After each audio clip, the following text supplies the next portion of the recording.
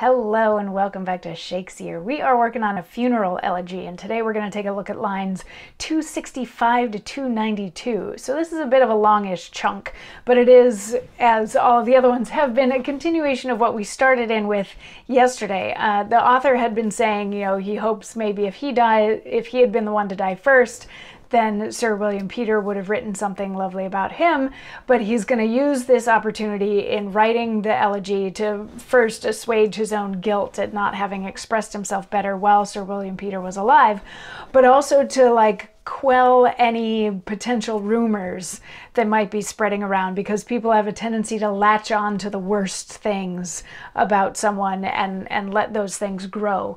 And line 265 says, Hence constir they with corrupt commentaries, proceeding from a nature as corrupt, the text of malice, which so often varies as 'tis by seeming reason underpropped. Oh, whither tends the lamentable spite of this world's teenful apprehension, which understands all things amiss, whose light shines not amidst the dark of their dissension? True 'tis, this man was yet he was a man, soothed not the current of besotted fashion, nor could digest, as some loose mimics can, an empty sound of overweening passion, so much to be made servant to the base and sensual aptness of disunioned vices, to purchase commendation by disgrace, whereto the world and heat of sin entices. But in a safer contemplation, secure in what he knew, he ever chose the ready way to commendation by shunning all invitement strange of those whose illness is the necessary praise must wait upon their actions.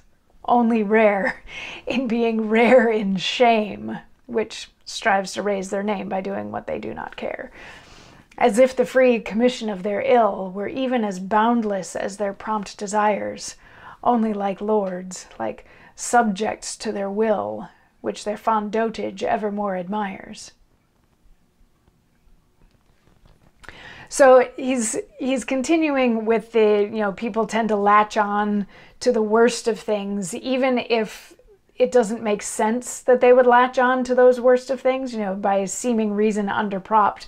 It, people will people will take rumors and just sort of run with them, and and that's what they do. And and what he says is, you know, Sir William Peter, yes, he wasn't like the most fashionable of man and he he wasn't like super enthusiastic about things and, and you know overly effusive about some things um, but he he knew what he knew and he remained steadfast and true. And i didn't mean to rhyme with that but he he would not pay attention to all of that other garbage that was going on around him. You know these these shameful people that are talking about the great things that they did even though those things that they did really weren't great. You know he didn't fall into any of that. He didn't fall into those patterns and he he didn't buy into that. He just he stayed he stayed steady and true to be a good person, sort of regardless of all of the garbage that was going on around him.